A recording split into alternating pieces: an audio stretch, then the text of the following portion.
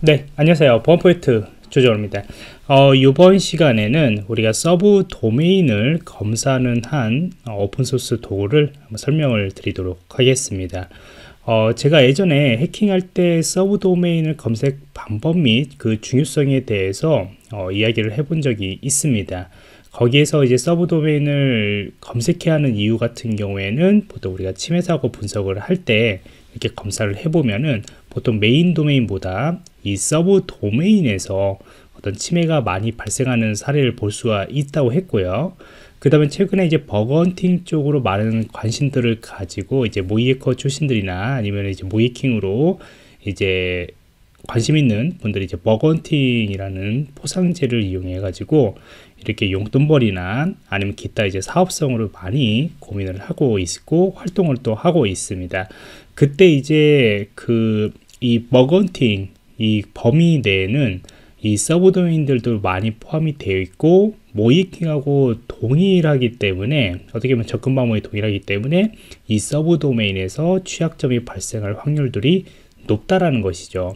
그렇기 때문에 항상 이 서브 도메인 체크하는 보다 환경 분석을 하는 그런 정보 수집하는 그 단계들이 굉장히 중요합니다. 그러면 이제 어떤 도구들을 이제 뭐 사용할지 여러분들이 이제 고민을 하시게 되는 건데 예전에 이제 뭐 다양한 사이트 서브 도메인을 제공하고 있는 그런 사이트들도 소개를 했었고 그 다음에 간단한 어, 이렇게 도구들도 예, 설명을 드렸는데 거기에서 설명했던 다양한 사이트들을 하나로 모아져 가지고 검사를 하는 도구가 바로 이 Sublist3r라는 이 도구라고 보시면 될 것 같습니다. 우선은 칼리 리눅스에는 기본적으로 있지 않습니다. 그래서 어, 다운로드 받으셔 가지고 여러분들이 바로 실행을 하시면 되고요.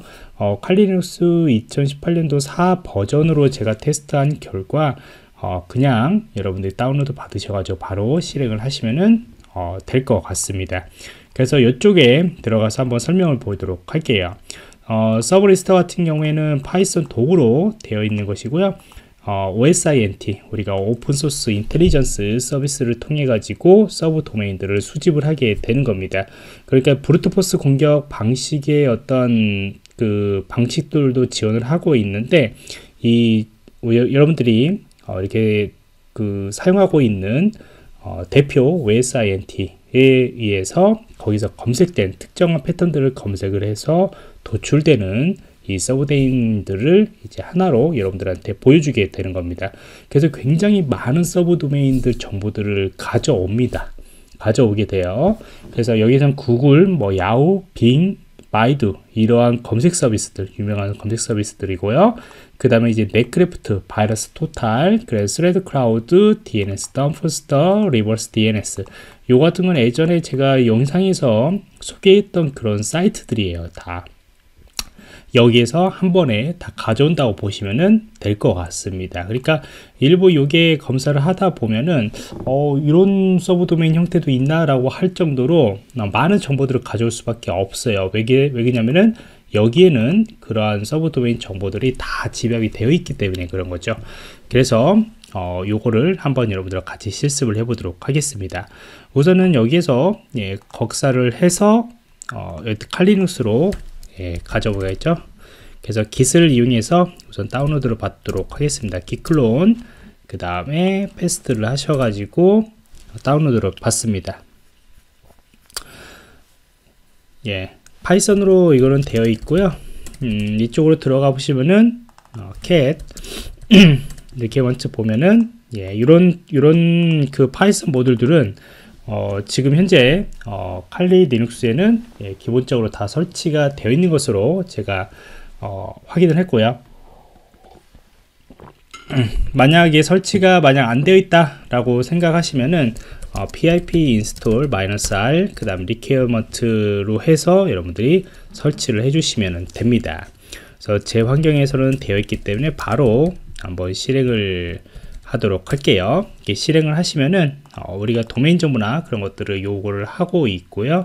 어, 이쪽에서 한번 어, 옵션들을 좀 보도록 할까요? 자 보시면은 마이너스 D 옵션, 마이너스 B 옵션, P 옵션 이런 정보들이 있는데 어, 우선은 마이너스 D 옵션이 도메인 정보들을 가져오는 서브 도메인 정보들을 가져오는 것이고요. 이거는 brute force 방식을 이용해 가지고 서브 도메인을 subbrute 이렇게 하게 되는 것이고요. 요게 조금 저는 좋다고 생각해요. 예, 포트 정보까지 지원합니다. 그래서 포트 정보 같은 경우 이렇게 80443으로 지정을 해주시면은 서브 도메인에서 only 포트 80하고 443으로 동작하고 있는 것만 이제 이렇게 골라내는 방식인데 어, 웹 서비스는 그런 것들 그 다음에 다른 잘 사용하지 않는 포트 제외하고 이렇게 한다면은 좀 더더 여러분들이 외부로 접근할 수 있는 그런 서비스들을 골라낼 수 있다라는 것이죠. 그 나머지 같은 경우 뭐 thread나 output이나 그 다음에 엔진 같은 경우 이런 것들 정보들이 어, 있습니다. 그래서 엔진 같은 경우나 그런 것 그 마이너스 2 옵션 같은 걸 누르면은 여러분들이 특정한 엔진들만 이용하는 거 여기서 기본적으로 많은 엔진들을 이제 어, 지원을 하게 되는 건데 특정한 엔진들만 할 때 마이너스 2 옵션을 줘서 여러분들이 검사도 할 수 있다. 이게 조금 더 줄이게 되는 거죠 범위를요?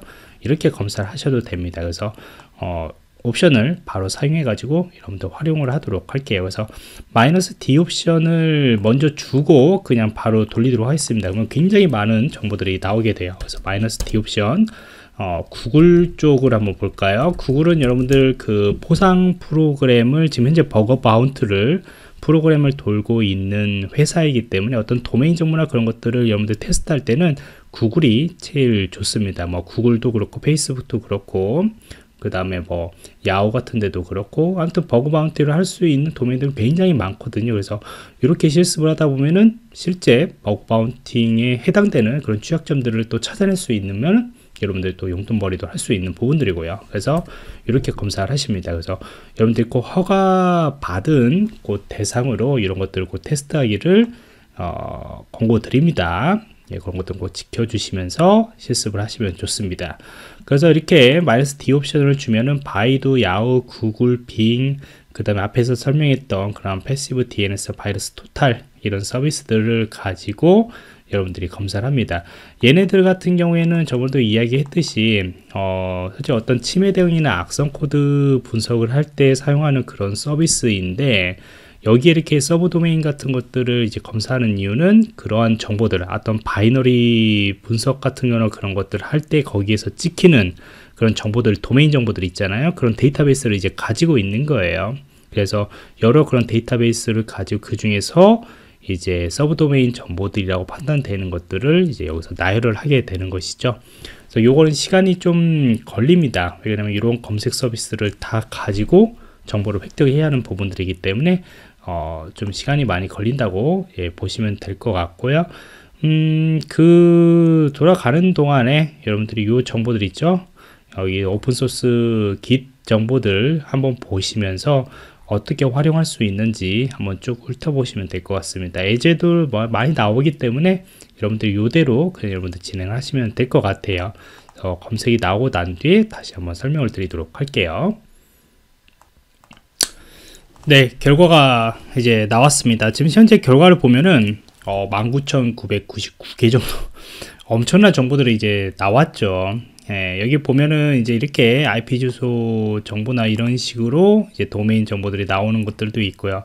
어, 요거는 아까도 이야기를 했듯이 이 OSINT에서 찍힌 그 정보들을 다 골라내서 합해서 여러분들한테 보여주는 정보들이기 때문에 사실 여기에서 이제 무의미한 그런 도메인 정보들이 있습니다. 그리고 두 번째는 이제 구글이다 보니까 굉장히 많은 정보들이 이제 찍히 나는 거죠.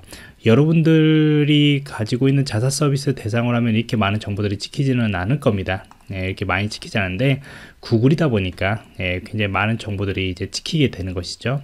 아무튼 요거 이해도 이제 그 칼리 리눅스에서는 기본적으로 제공하는 것이 이제 피어스라는 도구가 있는데 이 도구도 예, 상당히 좋은 결과들을 가지고 있습니다. 그리고 아까도 이야기했듯이 옵션을 80포트하고 43포트 그리고 그 엔진들을 조금 좁혀 가지고 여러분들이 검사를 하시면은 이렇게 어, 많은 결과들은 나오지는 않을 것 같아요. 그래서 이렇게 여러분들이 도구라는 것은 단지 여러 도구들 중에서 참고를 해가지고 그 중에서 정말로 어, 여러분들이 알고자 하는 정보들을 골라내는 것들이 목적이기 때문에 아 이렇게 쓰일 수 있는 도구들이 있구나 그리고 OSINT에서 여러 정보들을 가져올 수 있는 그런 모음의 형태들의 도구이다 그래서 추천을 한다 라고 그렇게 생각하시면은 어, 될 것 같습니다.